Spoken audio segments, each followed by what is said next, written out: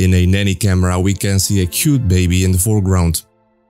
Also something is roaming in the background. Is this a ghost captured on a nanny cam? Preparing you for a ritual of awakening. Warriors, honor your call. This is Lions Ground.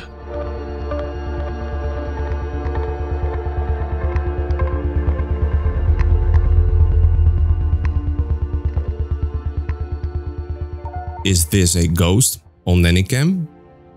False. The footage you see here is fabricated, a fabricated hoax. The baby in the video is a green screen material from YouTube. And Lions Ground has been tipped to investigate the video that was released on Amazon.com late August last year, claiming a ghost was recorded on a baby security camera. The story is empowered with a series of photos just to make it more credible. The baby footage originates from a YouTube channel called Green Screen, a YouTube channel that publishes green screen stock footages. Conclusion The ghost on Nannycam. The video is a hoax.